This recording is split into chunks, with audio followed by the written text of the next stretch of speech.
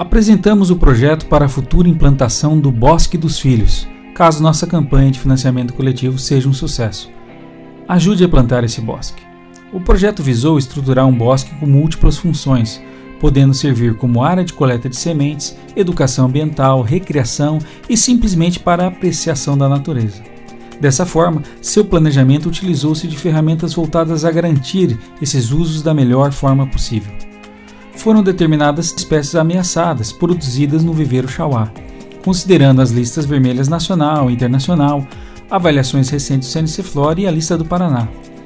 Nem todas as espécies ocorrem naturalmente em proximidade da área do bosque, porém são todas da floresta araucária e com a devida manutenção sua sobrevivência é garantida. As mudas que constituirão o bosque virão no mínimo de oito matrizes diferentes para cada espécie, no intuito de trazer uma variabilidade genética que contribua para a redução de endogamia.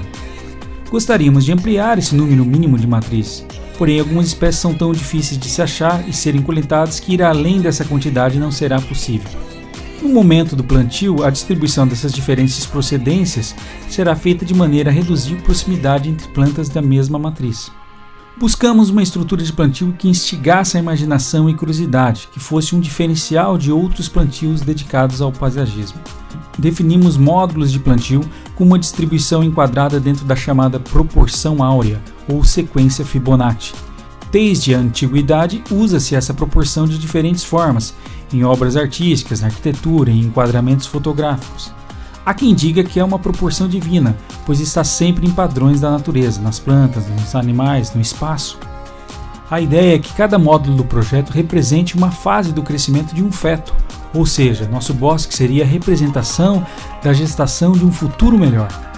Definimos módulos dentro da proporção áurea por toda a área programada para compor o bosque, a composição florística desses módulos variou o adensamento das espécies, considerando o espaço que ocuparão na estrutura horizontal e vertical da floresta.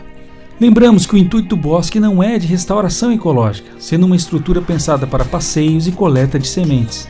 Dessa forma, a manutenção para a formação e sobrevivência da espécie é mais complexa e onerosa. As futuras trilhas serão traçadas após o crescimento do bosque, escolhendo trajetos que sejam os mais eficientes para se passar por todos os setores. Assim fica o planejamento desse local de esperança para essas espécies ameaçadas, para nossos filhos, netos, para as próximas gerações.